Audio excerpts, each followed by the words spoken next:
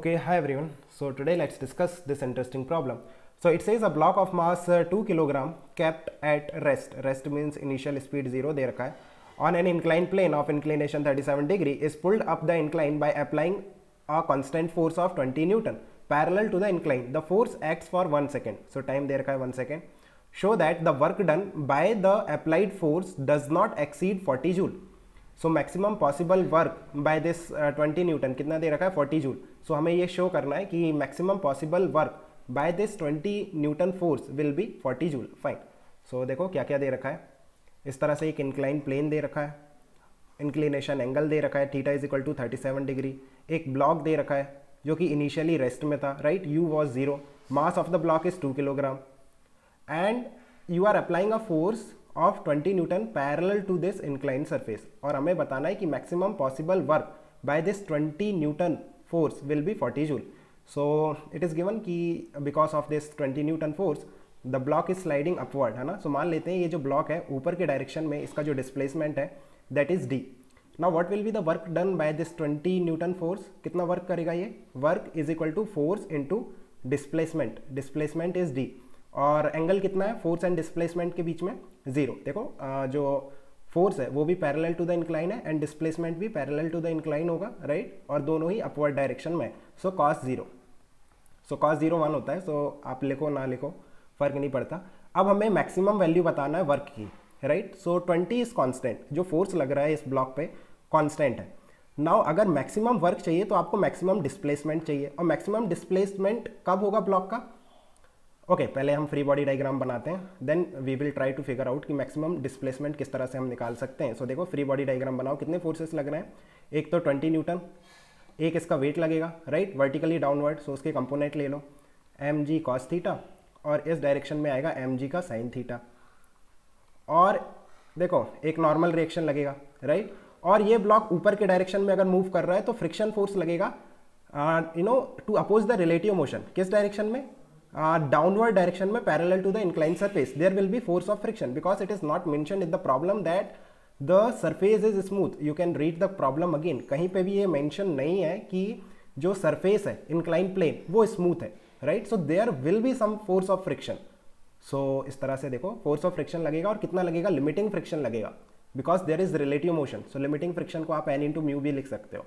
Fine और normal direction कितना होगा? एम जी कॉस थीटा यहाँ से देखो वर्टिकल डायरेक्शन में कोई मोशन पॉसिबल नहीं है इस ब्लॉक का। इसलिए normal reaction will be equal to m g cos theta cos theta so इसे नॉर्मल रिएक्शन को m g cos theta into mu भी लिख सकते हो। This will be your force of friction now what will be the acceleration of this block in the upward direction जिस direction में ये block move कर रहा है parallel to the incline surface वहाँ पे एक्सेलरेशन निकालना है। एक्सेलरेशन कैसे होगा? Net force upon mass so पहले हम एम जी साइन थीटा निकालते हैं। एम कितना है? टू जी का वैल्यू अप्रॉक्सीमेट टेन ले लो। Sine theta sine thirty seven which is three by five so check करो कितना आ रहा है ये?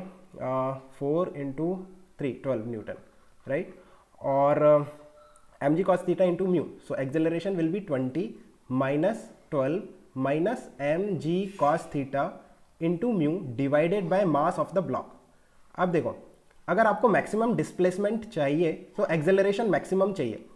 और यू कैन से डिस्प्लेसमेंट कितना होगा? देखो displacement in the upward direction will be u t plus half of a t square because you know the time also right time कितना दे रखा? है वन सेकेंड सो यहाँ से देखो, अगर इनिशियल स्पीड कितना था? ज़ीरो था. यू भी दे रखा है zero right so u t will be zero so simply जो डिस्प्लेसमेंट होगा in the upward direction that will be half of a into t square so t one है. सो वन का square which is a by two so अगर displacement को maximum करना है तो acceleration को मैक्सिमम करना पड़ेगा। और एक्सेलरेशन कब मैक्सिमम होगा? जब आपका म्यू ज़ीरो हो जाएगा। बिकॉज़ देखो फ्रिक्शन रिलेटिव मोशन को अपोज करता है। सो so, अगर हमें मैक्सिमम एक्सेलरेशन चाहिए सो फ्रिक्शन फोर्स हमें ज़ीरो कंसीडर करना पड़ेगा। Then you will get the maximum value of acceleration and maximum value of the displacement और मैक्सिमम वैल्यू ऑफ़ डिस्प्लेसमेंट कितना आ रहा है? ए बाई टू ए कितना आएगा? ए मैक्स कितना आएगा? ये ज़ीरो हो गया म्यू है ना?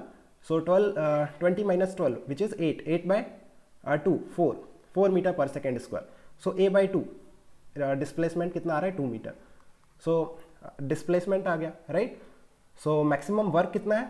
Maximum work was F into D और एफ़ इंटू एस कह लो। So twenty into displacement two which is forty joule fine so this was your first part second part की बात करते हैं। Find the work done by the force of gravity in that one second if the work done by the applied force is 40 joule so अगर work done by the applied force 40 joule हो रहा है maximum work हो रहा है means friction नहीं है। अगर फ्रिक्शन नहीं है देन बहुत सारे मेथड है you can you know choose any one to find out the work done by the gravity देखो uh, एक तो सिंपलेस्ट मेथड है कि basic definition of the work that is force into displacement so देखो force M का vertically downward लगेगा right right? और displacement कहाँ हो रहा है? पैरेलल टू द इंक्लाइन और कितना हो रहा है? टू मीटर राइट बिकॉज़ जब आपका जो वर्क है work done by the twenty newton is forty joule तब उस केस में डिस्प्लेसमेंट टू मीटर होगा in the upward direction parallel to the incline और ये एंगल कितना है? ये एंगल है आपका 37 डिग्री राइट और ये हो गया 90 degree so what is the angle between force and displacement force और डिस्प्लेसमेंट के बीच में एंगल कितना है? 90 plus thirty now work done क्या होता है? Work done is equal to force into displacement force कितना है? Force is m g m is two into g is ten so twenty newton so so, देखो force into displacement into cos theta ठीक है? So so, force कितना है? Twenty Newton displacement to है।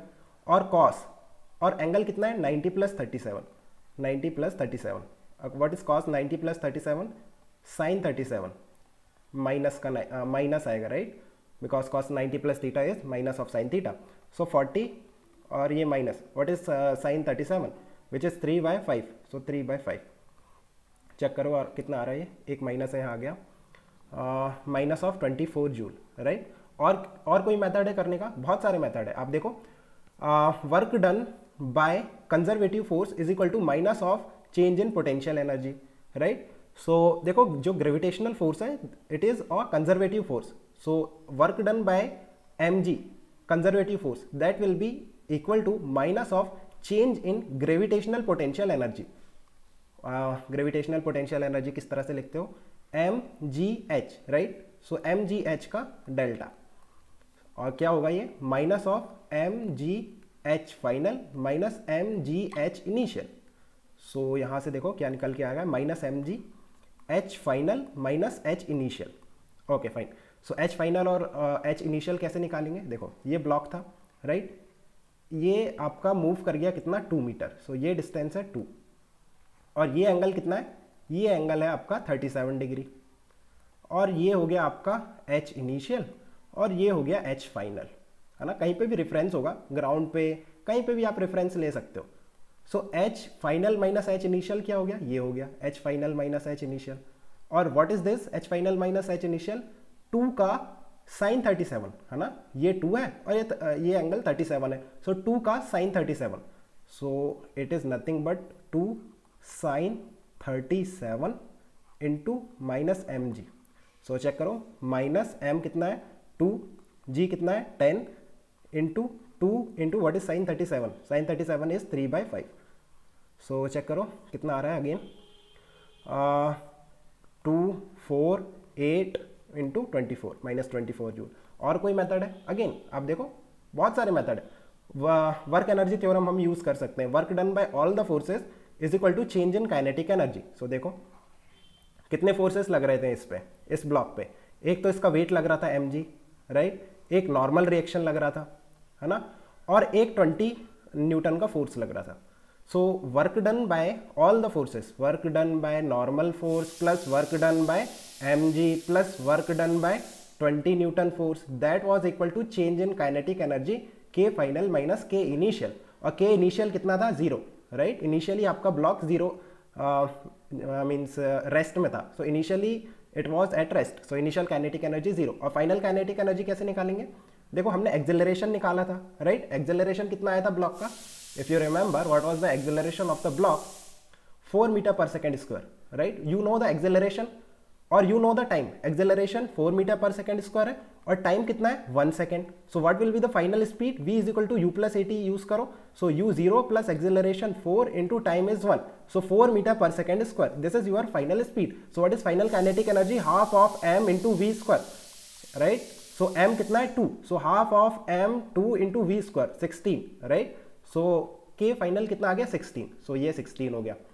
Work done by twenty newton force ये हमने निकाल लिया. कितना? Forty joule right work done by M हमें निकालना है। What is work done by normal reaction zero because displacement is always perpendicular to the for force right normal reaction और जो डिस्प्लेसमेंट है वो हमेशा एक दूसरे के परपेंडिकुलर इनके बीच में जो एंगल है वो 90 डिग्री है।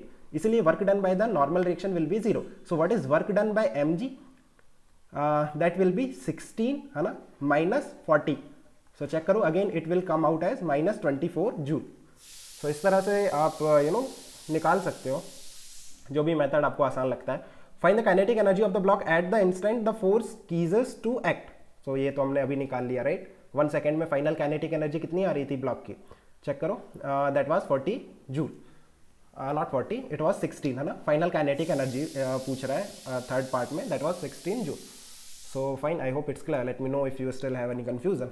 We can discuss further okay okay guys keep working best of luck bye.